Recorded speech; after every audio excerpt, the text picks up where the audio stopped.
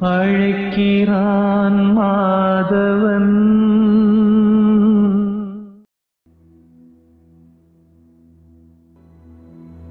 வணக்கம் திருமாறன் ப்ரோ நான் ரீசெண்ட்லி வந்து உங்ககிட்ட இருந்து திதி தேவதையோட மந்திரத்தை வந்து நான் பர்ச்சேஸ் பண்ணியிருந்தேன். ஸோ அதுக்கப்புறம் வந்து நான் அதை வந்து தொடர்ந்து அதை செஞ்சுக்கிட்டே வந்தேன். நீங்கள் சொன்ன மாதிரி நீங்கள் கைடன்ஸ் அனுப்பியிருந்தீங்க. அதே மாதிரி நான் செஞ்சுக்கிட்டு வந்துக்கிட்டே இருந்தேன். ஸோ எனக்கு கரண்ட்லி வந்து எனக்கு ஜாப் இல்லை. ஸோ என்னோட இப்போ நான் டியூஷன் தான் சொல்லி கொடுத்துட்ருக்கேன். அந்த டியூஷன் ஜாப்பே வந்துட்டு எனக்கு வந்து இன்னும் நிறைய வந்து கிடைக்க ஆரம்பிச்சிச்சு. அந்த திதி தேவதையோட மந்திரத்தை சொன்னதுக்கு அப்புறம் இன்னொன்று எனக்கு நிறைய புதுசாக வேலை வாய்ப்பும் வந்து கிடைக்க ஆரம்பிச்சிருச்சு. நிறைய இன்டர்வியூஸ்லாம் வர ஆரம்பிச்சிச்சு. ஸோ இதுனால உங்களுக்கு வந்து ரொம்ப நன்றி தெரிவிக்கிறேன் ப்ரோ ஏன்னா எனக்கு ரொம்ப வாழ்க்கையில் நான் ரொம்ப உடஞ்சி போயிருந்தேன். எனக்கு சரியான வேலை எதுவுமே அமையலை அப்படின்னு சொல்லிட்டு. ஸோ இதெல்லாம் கிடைச்சதுக்கு வந்து ரொம்ப நன்றி.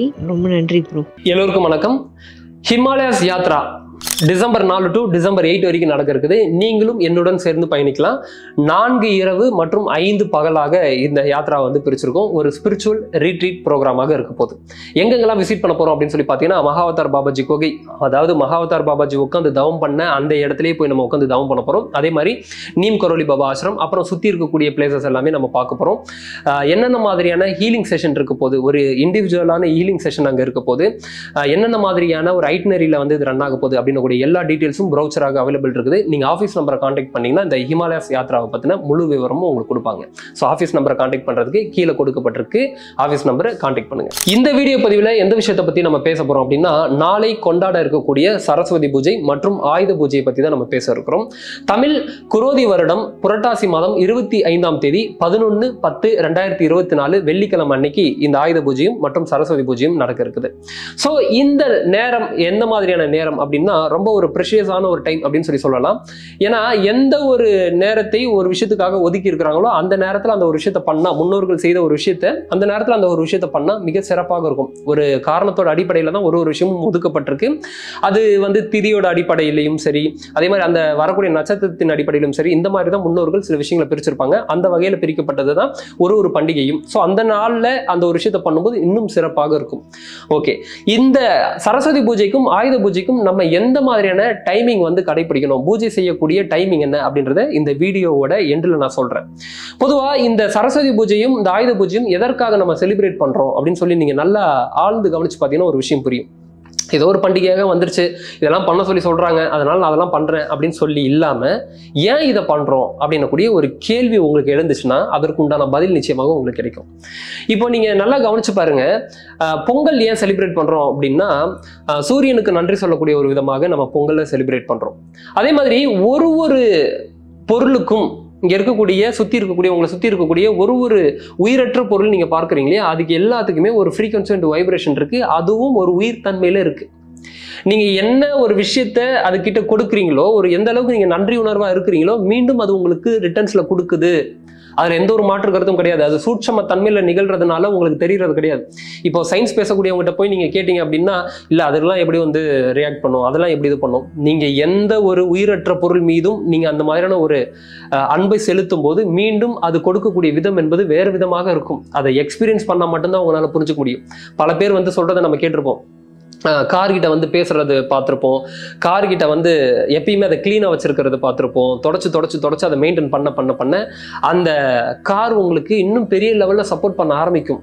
நம்மளோட கிளாஸில் அந்த மாதிரியான சில விஷயங்கள்லாம் நம்ம பேசுவோம். அதை எக்ஸ்பீரியன்ஸ் பண்ணவங்க உள்ள நிறைய பேர் இருக்கிறாங்க. ஸோ எல்லா ஒரு விஷயத்துக்கும் நன்றி சொல்லக்கூடிய ஒரு விதமாக ஏன் நம்ம நன்றி சொல்கிறோம் நீங்கள் நல்லா கவனிச்சு பாருங்க. ஏன் ஒரு ஒரு விஷயத்துக்கு நம்ம நன்றி சொல்கிறோம் மீண்டும் அது உங்களுக்கு ரிட்டர்ன்ஸில் கொடுத்துக்கிட்டே இருக்கும். அப்போது நம்ம ஒரு பிஸ்னஸ் பண்ணுறோம் எல்லா பொருளையும் வச்சு பயன்படுத்துகிறோம் ஆனால் அதுக்கு எப்போ நம்ம நன்றி சொல்லியிருக்கோம்? அதை எல்லாம் எப்போ நம்ம பராமரிக்கிறோம்?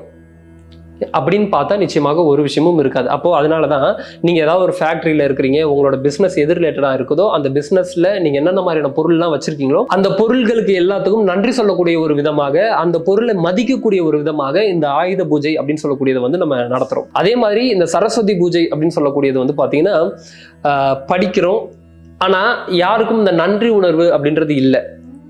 இப்போ அந்த புத்தகத்துக்கு நீங்க நன்றி சொல்லக்கூடிய ஒரு விதமாக இதுல இருந்து தான் சில விஷயங்கள் எல்லாம் எனக்கு அறிவாக வருது அப்படின்றதுக்காக அந்த சரஸ்வதி தேவிக்கு நன்றி சொல்லக்கூடிய ஒரு விதமாக நீங்க வச்சிருக்கக்கூடிய அனைத்து புத்தகங்களுக்கும் நன்றி சொல்லக்கூடிய ஒரு விதமாக இதுக்கு யார் யாரெல்லாம் உறுதுணையாக இருந்தாங்களோ இந்த புத்தகம் ரெடியானதுக்கு யார் யாரெல்லாம் உறுதுணையாக இருந்தாங்களோ அவங்களுக்கு நன்றி சொல்லக்கூடிய விதமாக எல்லாத்தையும் நம்ம மதிப்புடன் நடத்துறதுக்காக தான் இந்த ஆயுத பூஜை மற்றும் இந்த சரஸ்வதி பூஜை எல்லாமே.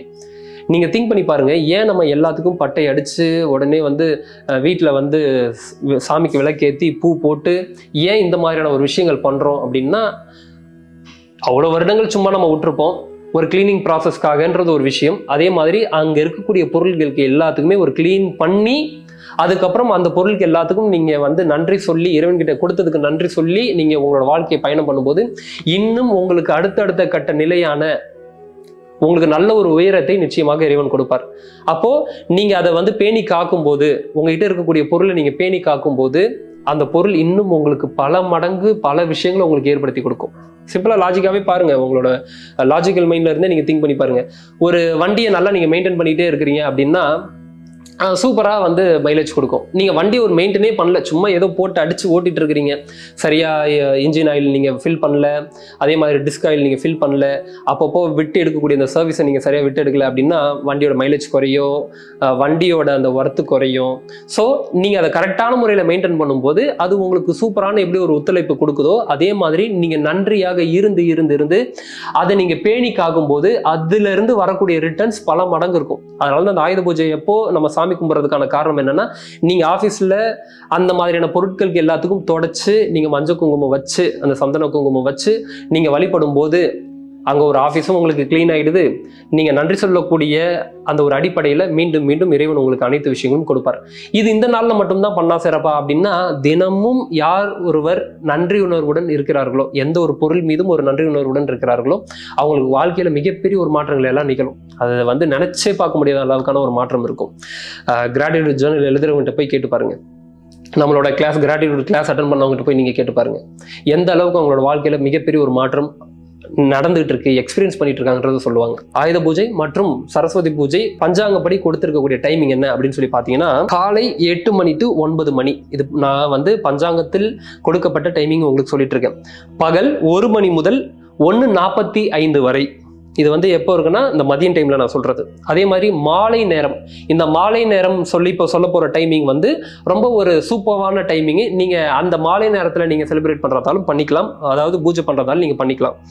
மாலை ஐந்து மணி முதல் ஆறு மணி வரை இது வந்து ரொம்ப சூப்பரான ஒரு டைமிங்காக சொல்லப்படுது. அதனால் நீங்கள் சாயங்காலம் அதாவது மாலை நேரத்தில் நீங்கள் சாமி கும்பிட போகிறீங்க சரஸ்வதி பூஜையில் ஆயுத பூஜையில் அந்த டைமிங் நீங்கள் மெயின்டைன் பண்ண போறீங்கன்னா ஃபைவ் டு சிக்ஸ் நீங்கள் வந்து தாராளமாக பூஜை புனஸ்காரங்கள் நீங்கள் தாராளமாக செய்யலாம்.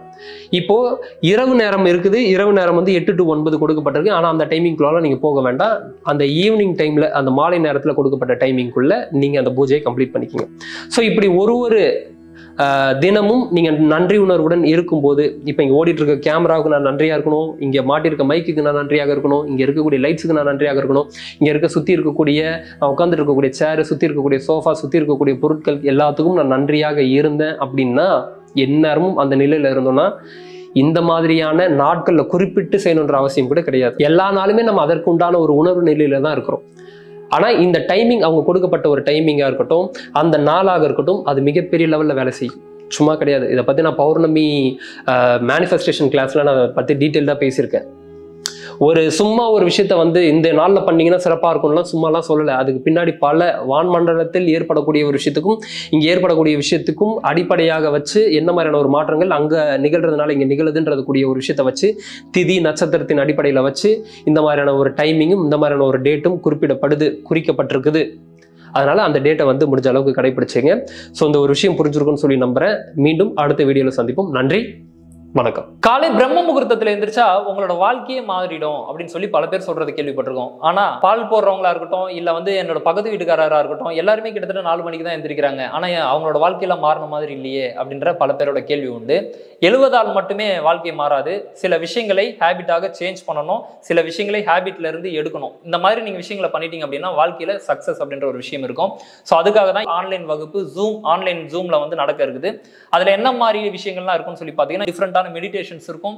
அதே மாதிரி சில சேலஞ்சஸ் கொடுப்போம். அதை நீங்கள் தொடர்ந்து பண்ணிட்டு வரும்போது அது ஹேபிட்டாக மாறும். அந்த விஷயம் ஹேபிட்டாக மாறும்போது உங்களோட லைஃப்ல பல மாற்றங்கள் கொண்டு வரும். அது எப்படி அப்படின்னா ஸ்பிரிச்சுவல் growth-ஆக இருந்தாலும் சரி ஃபினான்ஷியல் growth-ஆக இருந்தாலும் சரி வாழ்க்கையில் ஏற்படக்கூடிய பிரச்சனைகளை எப்படி ஃபேஸ் பண்ணுறது ஸ்ட்ரெஸ் டிப்ரெஷனு இதில் எல்லாத்துலேயும் இருந்து விடுபடுவதற்கு ஒரே ஒரு புரிதல் அவசியம். அந்த புரிதல் உங்களுக்கு ஏற்படும். ஸோ இந்த கிளாஸில் நீங்கள் ஜாயின் பண்ணணும் அப்படின்னா கீழே கொடுத்துருக்க அந்த லிங்கை கிளிக் பண்ணி ஜாயின் பண்ணீங்க.